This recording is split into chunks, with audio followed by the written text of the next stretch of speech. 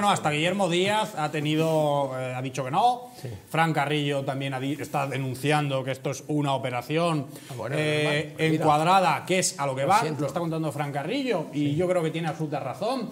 Que la gente que ahora mismo está escondida en sus casas pese a la crisis económica es la que va a salir al día siguiente. Haya un gobierno de la alternancia o de la alternativa, el que sea, para devolver cuanto antes a esta ultra a este ultrazurdismo siniestro de la siniestra Sí. al poder para seguir con su operación, su gran operación, porque los últimos 40 años en España, cada vez que gobierna el PSOE hemos avanzado en una dirección.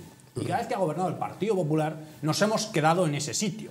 Esa es la diferencia. Y eso es lo que tenemos que entender. Y eso es lo que hay que hacerle eh, entender a la gente. Porque claro, nos va a decir la gente, muchos amigos de Distrito Televisión, bueno, claro, es que Feijó no lo va a hacer tan mal como, como lo va a hacer, eh, como lo está haciendo Sánchez. Sánchez. Y eso es lo que nos dicen y ese es el discurso que tienen preparado. Es verdad.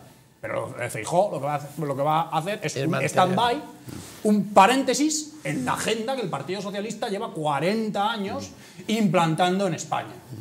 Y entonces, en una breve cuestión de tiempo, mucho antes de lo que se piense el propio Partido Popular, que no termina de enterarse, porque Rajoy cuando estaba en el bar allí en la calle Alcalá, traca, traca, tracata, decía que tenía controlado al PNV, igual que ahora el Partido Popular dice que tiene controlado no se sabe qué cuando llegue al gobierno, pues mucho antes de lo que ellos se piensan, el Partido Socialista volverá al poder si es que pierde de verdad estas elecciones, que yo tengo mis dudas y no consigue formar mayoría, eh, para seguir implementando su agenda de ultra extrema izquierda, que con sus operaciones mediáticas se dedican a dividirnos, a enfrentarnos y a tener una sociedad al final de resentidos y de resentides, ¿eh? enfrentados eh, con el de enfrente y que así no podamos construir ni patriotismo, ni unidad, ni alternativa, ni mejorar, ni dedicarnos a los problemas que nos hacen falta, reindustrializar España, eh, reabrir nuestra economía, relacionarnos con quien nos tenemos que relacionar internacionalmente, incluir a Italia que siguen sin felicitar a la nueva primer ministro.